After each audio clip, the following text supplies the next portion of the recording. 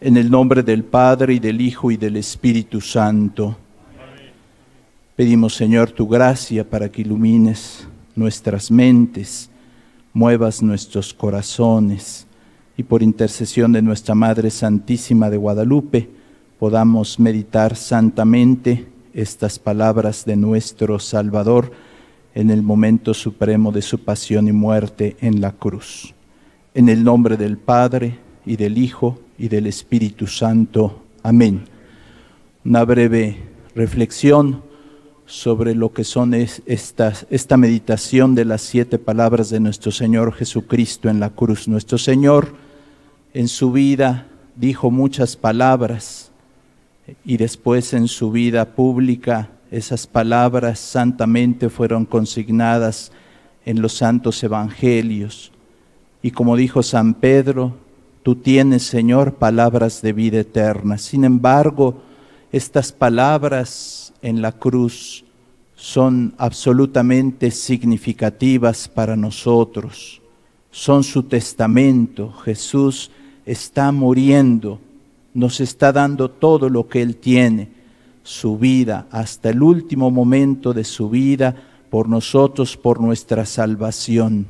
Estas siete palabras tienen como esa carga fuerte existencial de que Jesús está dando todo por nosotros. Son palabras contundentes, palabras como un testamento que Jesús nos deja, palabras breves, pero exactamente así contundentes e inspiradoras. Nos dan luz en nuestra mente, nos mueven a la conversión, nos sirven para nuestra vida. ¿Y cuál debe ser nuestra actitud? La escucha, como el Shema Israel en el libro del Deuteronomio capítulo 6. Escucha Israel, escucha ahora pueblo de Dios, que es fundado por el misterio pascual de Cristo, su pasión, muerte y resurrección. Cada uno de nosotros en nuestro corazón debe escuchar estas siete palabras de Jesús en la cruz. La primera palabra que meditamos está reportada en el Evangelio según San Lucas 23, 34. Padre, perdónalos porque no saben lo que hacen esa primera palabra que Jesús dirige a sus enemigos, aquellos que lo están matando, aquellos que lo están crucificando. Padre, perdónalos. Y nos da la máxima enseñanza del cristianismo, ese perdón, perdonar a los enemigos, hacer oración por ellos, amarlos, así como Jesús nos lo dijo. Padre, perdónalos. Ese perdón que solamente puede ser una acción divina. Cuando nosotros decimos que perdonamos o cuando Jesús nos invita a perdonar, siempre nos dice, perdonemos como el Padre nos perdona. Perdónanos como nosotros perdonamos a los que nos ofenden. Jesús es el que nos enseña a perdonar. El ser humano por sí mismo en su limitación no sería capaz de perdonar. Es una acción divina. Solo Dios puede perdonar y cancelar toda la ofensa. Pero a imitación de Cristo y por su gracia y por su fuerza, también nosotros podemos perdonar. Padre, perdónalos invoca esa acción que solamente puede hacer el Padre Celestial en su infinitud y en su grandeza. ¿Qué sería del mundo sin ese perdón que Cristo invoca allí en la cruz? Sería destruido por los pecados, así como en el diluvio. El pecado merece la destrucción, sin embargo, en medio de esa justicia divina, está la misericordia a través de la cruz de nuestro Señor Jesucristo. Si no estuviera allí, desapareceríamos merecedores de todo castigo por nuestras culpas y por nuestros pecados. ¿Qué es lo que a nosotros corresponde hacer ante esta palabra? Lo primero lo dice por mí también, porque yo también crucifico a Jesús cuando peco, cuando ofendo a Dios. Lo dice también para mí, para que me convierta, para que acepte la gracia de la reconciliación, para que cambie mi vida. Y por último, agradezcamos esa misericordia de Dios expresada en la cruz de Cristo, Cristo el rostro de la misericordia. Y, y, dejémonos reconciliar, aceptemos el perdón de Cristo que nos ofrece en la cruz. Segunda palabra.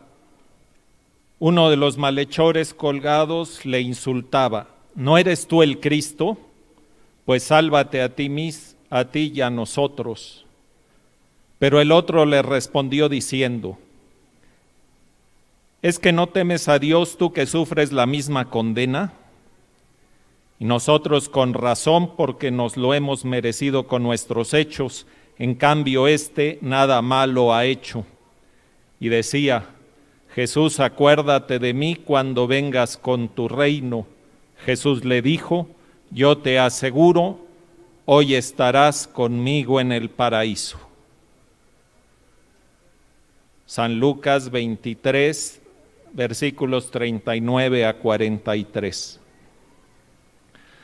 Vemos la actitud del primer ladrón que ante la cercanía de la muerte continúa en un plan de desafío y burla. Hay personas que así actúan ante las realidades definitivas, en lugar de volverse a Dios, se rebelan ante lo que les está pasando y se vuelven agresivos con los demás. ¿Y qué se saca de eso? Nada positivo, solo más tristeza y amargura.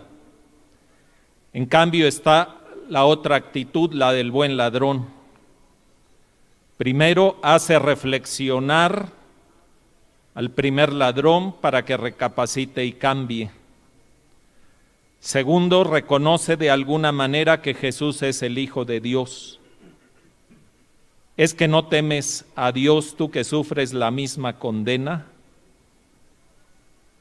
Es la fe del buen ladrón lo que le permite un cambio en los últimos instantes de su vida.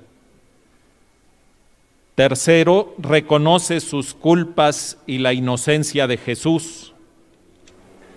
A diferencia de los líderes religiosos y políticos del pueblo de Israel que buscaron pretextos y calumnias para condenarlo, porque Jesús les hacía ver que su vida que ellos creían muy santa en realidad estaba muy lejos de lo que Dios quería de ellos. Cuarto, el buen ladrón tiene la valentía de pedirle a Jesús en esos momentos críticos que lo acepte cuando venga en su reino, lo que es otra expresión de fe. Y eso lo hace en el momento de máxima humillación de Jesucristo, el momento de su crucifixión, cuando los que estaban allí seguramente o estaban en actitud de burla o de expectación a ver si hacía un milagro, y solo un discípulo y tres mujeres, entre ellas María Santísima, estaban acompañándolo con un dolor inaudito y con la incertidumbre de lo que iba a pasar. El buen ladrón supo robar en los últimos momentos de su vida el tesoro más valioso, el decidirse a favor de Jesús, el aceptarlo, el poner su vida en manos de Él, el pedirle misericordia. ¿Qué hace Jesús? Concederle lo que pedía, hoy estarás conmigo en el paraíso. ¿Y por qué? Primero porque nuestro Señor es infinitamente misericordioso y además sabe penetrar los corazones, el interior de cada persona y sabe ver si hay en ella sinceridad o no. Por otra parte, Jesús quiere la salvación de todos. Para eso se encarnó, para eso su enseñanza, para eso dio la vida en la cruz. Pero para esa salvación se requiere nuestra colaboración nuestra respuesta como la tuvo el buen ladrón. No podemos dejárselo todo a Dios.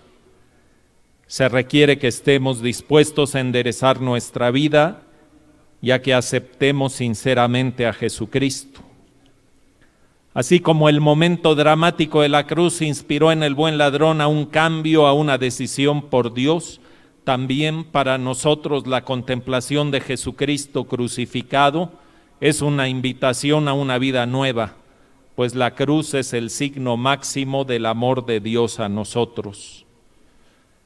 El buen ladrón le respondió a ese llamado interior que Dios le hacía de la manera que hemos escuchado.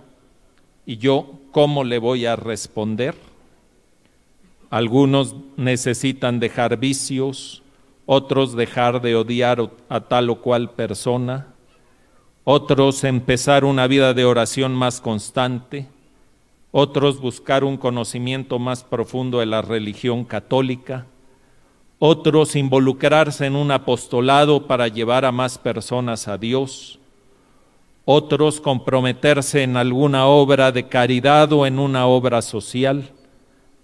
Que nuestro Señor Jesucristo mueva nuestras vidas y no pongamos obstáculos a las obras buenas, a las cosas buenas que el Espíritu Santo nos inspira. Tercera palabra del Evangelio según San Juan. En aquel tiempo estaban junto a la cruz de Jesús su madre, la hermana de su madre, María de la de Cleofás y María Magdalena. Al ver a su madre y junto a ella al discípulo que tanto quería, Jesús dijo a su madre, ahí tienes a tu hijo. Luego dijo al discípulo, ahí tienes a tu madre. Y desde entonces el discípulo se la llevó a vivir con él. Palabra del Señor. Mis amados hermanos, la dulce Señora del cielo, la Madre de Jesús, Madre de Dios, vivió siempre íntimamente unida a Él. Y de esa manera fue colaborando también en la salvación, pero más hoy la contemplamos en el sufrimiento, en el dolor. El momento cumbre de su sufrimiento fue precisamente la pasión. El sufrimiento de una madre, qué terrible es ver sufrir a su hijo. Ya Simeón le había anunciado, una espada te atravesará el alma. Y ahí está María con el corazón sensible y traspasado. Pero ella se mantiene firme, se mantiene firme al pie de la cruz, sin sufrir el escándalo de sus discípulos. Stabat mater dolorosa, justan crucem lacrimosa, dum pendebat filium. Estaba la madre, sí, llorosa, pero al pie de la cruz, firme entre la mucha gente del Calvario, la que realmente estaba allí era María. Ella no estaba ahí mirando, estaba contemplando, estaba comulgando, asumiendo toda la pasión del Hijo. Mis amados hermanos, miren, uno está donde ama. Juan también estaba, porque amaba, porque era el discípulo amado.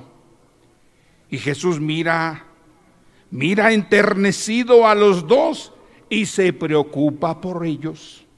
Antes de morir, como en testamento, les hace una mutua entrega.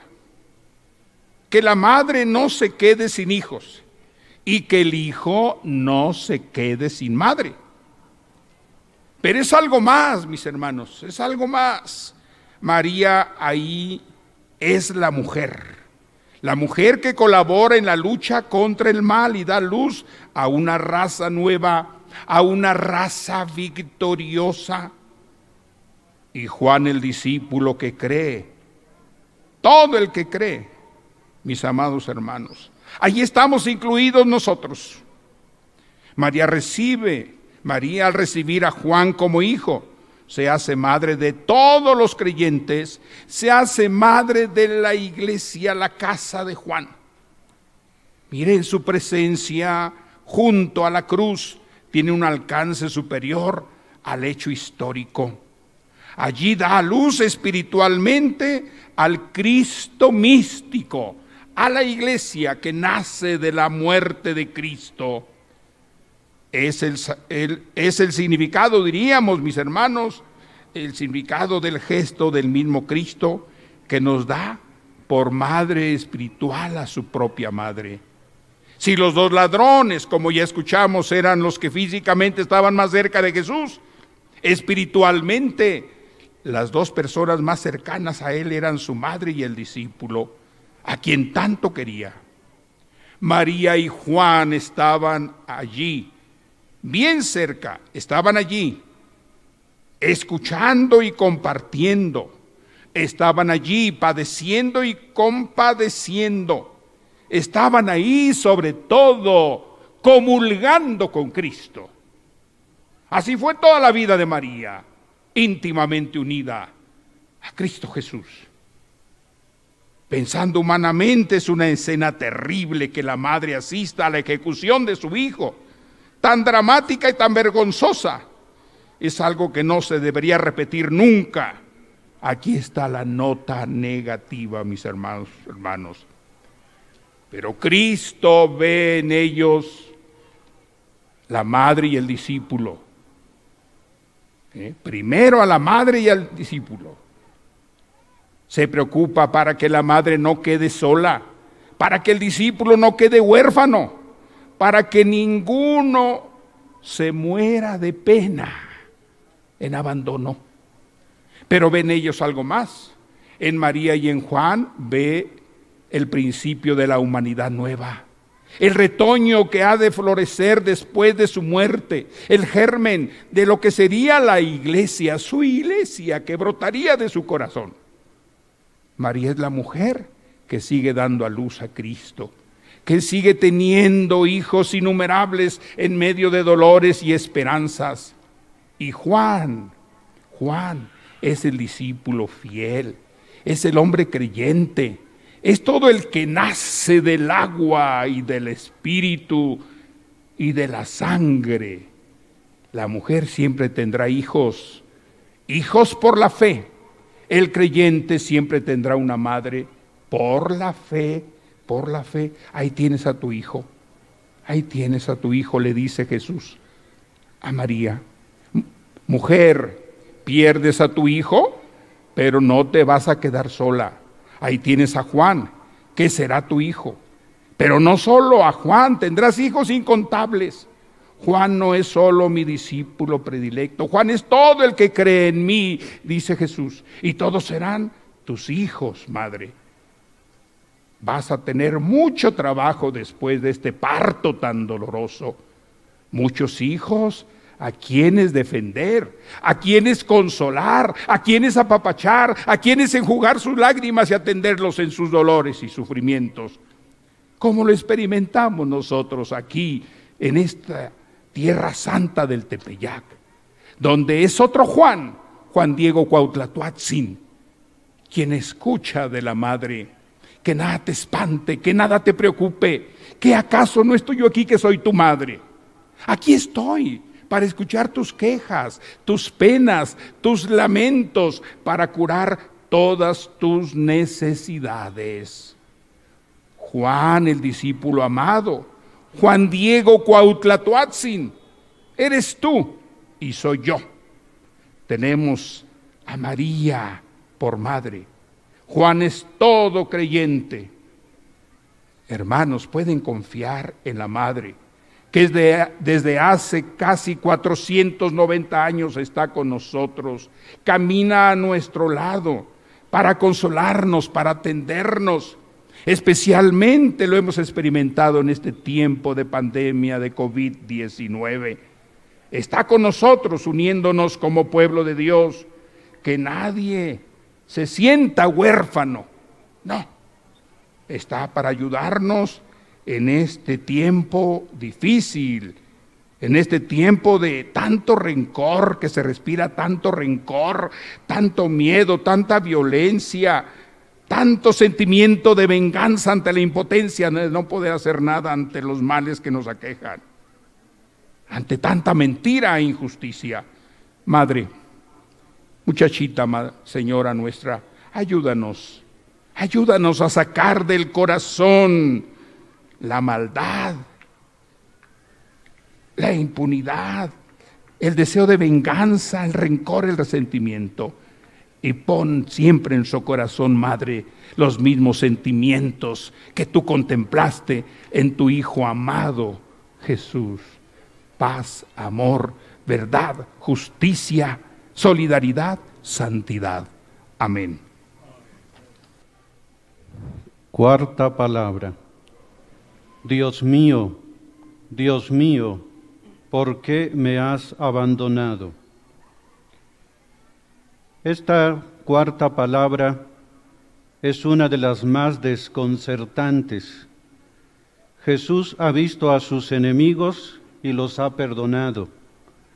Ha escuchado la voz del buen, del buen ladrón y le ha salvado.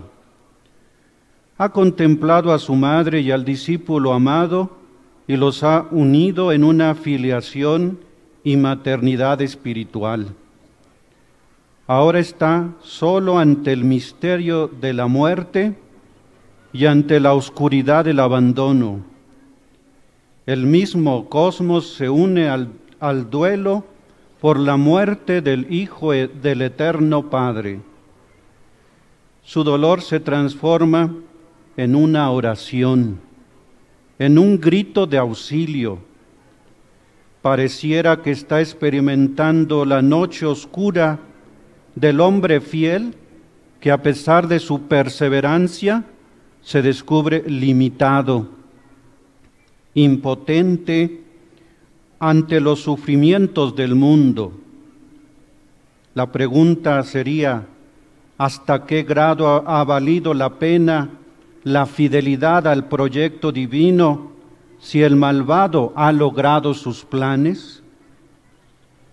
El ser humano en muchos momentos de su vida puede sentirse acompañado, experimentar la solidaridad de las personas cercanas, familiares y amigos, pero durante la vivencia de la enfermedad y la muerte, nadie tiene la capacidad de sustituirle. En este tiempo de pandemia se ha experimentado esta realidad como nunca lo había vivido esta generación. Ahí no hay posibilidad de que sea otro quien entre a reemplazarnos. La soledad y el aislamiento son una cruz pesada.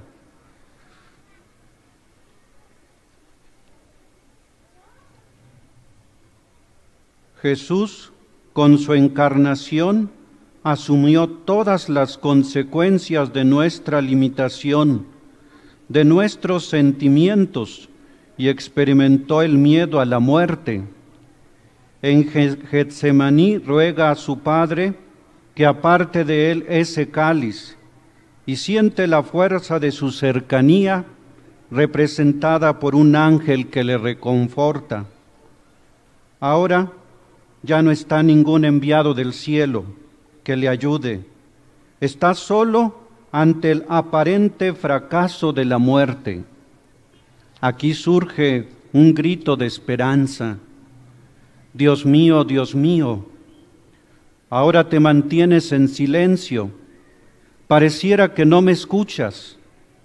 Todo se ha nublado, pero sé que tienes la capacidad de otorgarme la vida es la voz del, salmista que en el Salmo 22 dice, Señor, no te quedes lejos, fuerza mía, ven a socorrerme. Es la oración de una mística doctora de la Iglesia, Teresita del Niño Jesús, que en los momentos de noche oscura decía, yo sé que detrás de esas nubes está mi sol. El pajarillo no cambiará de lugar porque sabe que detrás de las nubes su sol sigue brillando sin que su esplendor pueda eclipsarse ni un instante. Jesús se pone al nivel de todos los que han sufrido y siguen sufriendo injustamente y nos enseña que solo quien vive de fe y se abandona en las manos del Padre Celestial tiene la luz para superar estas circunstancias de drama y aparente derrota. Así también se puede comprobar que el amor de Dios tiene, tiene la última palabra, con la capacidad de vencer el mal. Un amor como el suyo no se desdice ni siquiera ante el rechazo o la negación. Es capaz de vencer el mal y derrotar la muerte. Señor, que en los momentos de soledad, de incertidumbre, me mantenga confiado, que la fuerza de mi fe no sea únicamente una idea pasajera, una gota de rocío que se evapora, sino una potencia para testimoniar mi confianza en ti y el anhelo de que tu reino sea ya desde ahora una realidad. La quinta palabra de Cristo en la cruz es, tengo sed, transmitida por el evangelista San Juan. El hombre, el ser humano en cuanto tal, tiene dos realidades que sin ellas no puede subsistir, porque el hambre y la sed son una necesidad vital del ser humano y solo comprueban que la vida humana depende de Dios. Cristo lleva casi tres horas colgado en la cruz y hasta ahora no sabemos por sus labios si sufre y lleva alrededor de 16 horas de su pasión y no ha tenido una sola palabra para quejarse de sus padecimientos. Hasta ahora, que abre por fin sus labios para pagar su infinita tortura con dos palabras. Tengo sed. Eso es todo, cumpliéndose así la profecía. Nosotros decimos tantas palabras para exagerar nuestros sufrimientos que al final ese abuso de palabras y quejas pierden su eficacia. En cambio, esa palabra de Cristo, tengo sed, se impone con urgencia contundente que no nos permite quedarnos solamente en la sed física que pide agua así, pues surge de un cuerpo deshidratado probando así el tormento de la sed física al expresar con un grito angustioso, tengo sed. Nos dijo todo lo que era este doloroso sufrimiento. Pero este grito, tengo sed, también es el total de todos los gritos de millones de gente en el mundo cuerpo de Cristo deshidratado, que no tienen acceso al agua potable y tienen sed y no disfrutan de un trago de agua o sufren enfermedades relacionadas al agua, siendo un derecho universal y fundamental por ser esencial a la sobrevivencia humana. Y se ha politizado en muchos lugares precisamente el tener derecho al agua potable. Pero además, de esta sed física nos lleva a otra sed misteriosa, espiritual y urgente. Jesús sabía que hay otra sed más ardiente todavía, sed de quien va por la vida sufriendo carencias elementales y sed de aquellos que suspiran por lo duro, por lo imposible sed de justicia, de amor y de paz, de reconciliación, de libertad, de armonía, de orden. El cuerpo de Jesús está deshidratado. Su grito tengo sed es el total de todos los gritos de todos los hombres y mujeres sedientos que a lo largo de la historia pasados y futuros piden justicia, piden libertad, paz y amor porque todos los hombres y las mujeres sedientos somos células vivas y torturadas de ese otro cuerpo misterioso, pero real, de Cristo, que es la humanidad. Por lo tanto, la quinta palabra, tengo sed, es de toda la humanidad que grita sedienta en boca de Cristo. Tenemos sed.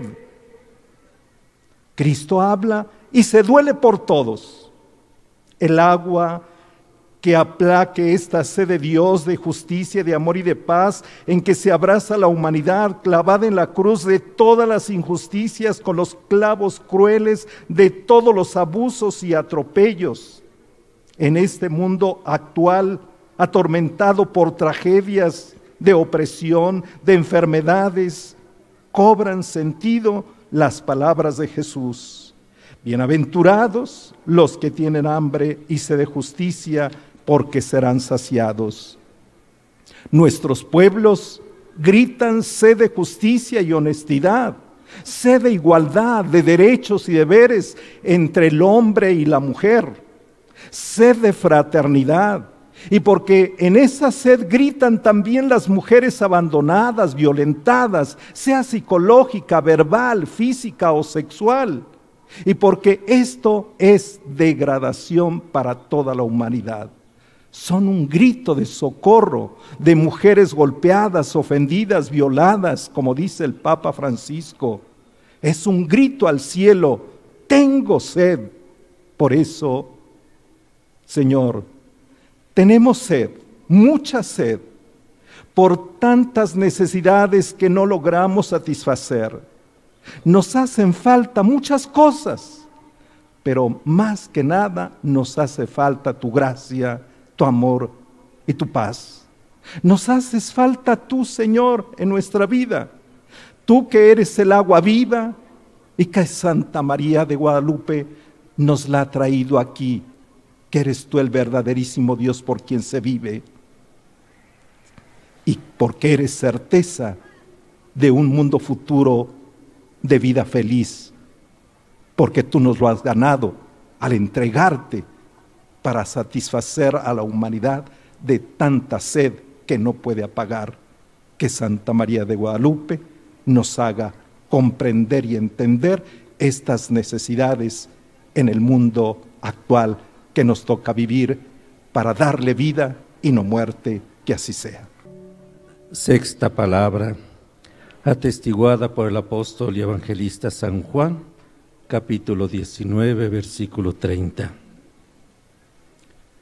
El Padre Eterno, por una disposición totalmente libre y misteriosa de su sabiduría y bondad, creó todo el mundo universo y decidió que el ser humano participara de su vida divina. Sin embargo, el ser humano, por la envidia del maligno, desobedeció a Dios, pecó ofendió al Creador, no respetó la vida y así entró la muerte al mundo. Se produjo una ruptura con la divinidad, pero el verdaderísimo Dios por quien se vive, que es amor, rico en piedad y misericordioso, quiso él mismo restablecer el plan originario, enviando a su Hijo engendrado, antes de todos los tiempos, su palabra omnipotente, palabra de vida. El Hijo, en el misterio santo de tomar nuestra naturaleza humana por la acción del Espíritu Santo, naciendo de Santa María Virgen, dice, sacrificios, holocaustos y oblaciones por el pecado no quisiste, no te agradaron pero me has formado un cuerpo. Entonces dije, he aquí que vengo, pues de mí está escrito en el rollo de la ley, a hacer, oh Dios, tu voluntad. Jesucristo nos dio a conocer la esencia íntima del Dios amor, un solo Dios vivo, verdadero, tripersonal, que nos ama un Padre que en atención a Cristo Redentor nos regala el poder participar de su vida divina eterna. Nos pide creer en Jesús, escucharlo, cumplir sus mandamientos. En su vida mortal pasó Cristo haciendo el bien y mostrarnos el amor que su Padre nos tiene. Cristo nos ofreció a todos nosotros pecadores, se ofreció como víctima y oblación en la cruz redentora. Puede proclamar que en todo complació al Padre, restaurando la relación íntima con Dios por medio del don del Espíritu Santo, garantía de su obra redentora. El Espíritu hace que Cristo concluya su vida mortal con una situación de victoria, de júbilo íntimo, de satisfacción, asumiendo nuestras debilidades, penas, sufrimientos. Su canto es poder decir lo que nadie lo podía hacer ni decir, solo Él. En esta sexta palabra de Cristo en la cruz, pone de manifiesto que Jesús era consciente de que había cumplido hasta el último detalle su misión dada por el Padre, culminación de su misión redentora, culminación de su programa de vida. Dios quiera que también nosotros al final de nuestra vida podamos decir como Cristo en el tránsito de nuestra propia muerte, aquí estoy Señor, me diste un cuerpo, vine en esta peregrinación terrena, a hacer tu voluntad. La palabra de Cristo en la cruz no es palabra de agonía, es palabra de victoria. Todo está concluido, todo está cumplido, todo está realizado, todo está consumado. La última palabra de Jesús en la cruz que dice, Padre, en tus manos encomiendo mi espíritu. Padre, en tus manos encomiendo mi espíritu. Esta es la actitud propia de Jesucristo, un diálogo constante con el Padre. En todos los momentos, aclamando en relación con el Padre. Momentos especiales, momentos difíciles, momentos también de logros, y Jesús, que sabía retirarse de sus tareas, de sus actividades, para alabar al Padre, para dirigirse al Padre. Ejemplo de esta relación constante con el Padre. No solo por un momento, por un día, una ocasión especial. Es una actitud permanente de diálogo, de comunión con el Padre. Y cuanto más, hermanos, en este momento que va concluyendo ya la gran misión, va concluyendo esta parte física, ahí en la cruz, momentos finales, el último aliento. Y también dirigido al Padre, al Padre. Y ese momento de ofrecimiento en la propia vida, la gran tarea que ha realizado. Y como dice Jesús, entregando el Espíritu. Padre, en tus manos encomiendo mi Espíritu. Y no solo la entrega de su propio Espíritu, entrega todo lo que ha traído en su mente, en su corazón, en su alma, la humanidad, a la humanidad con este propósito de redención, de rescate, de liberación del pecado. Te entrego mi espíritu y junto con ello entendemos, te entrego a la humanidad. En tus manos está. Qué gran regalo, qué gran testimonio nos da Jesús, siempre confiando en el Padre, aún en los momentos difíciles, y especialmente en este tránsito, en este momento especial, dejar este mundo físico y encontrarse ahora ante el Padre de donde ha surgido. El regreso al Padre, a la gloria de Dios Padre. Y no es ausentarse.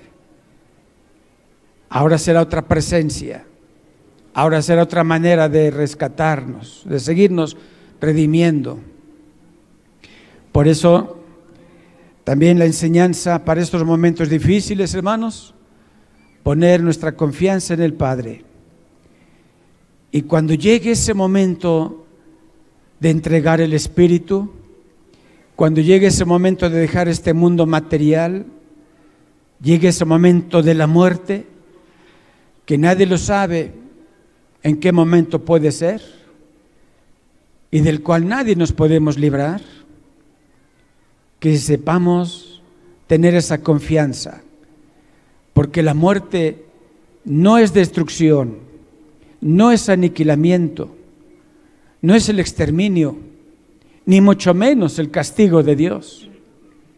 Por la muerte pasamos a este encuentro glorioso ante el Padre, ese encuentro de amor con el Padre Creador, con nuestro Padre Dios, ese encuentro y ese abrazo que no tendrá fin por toda la eternidad.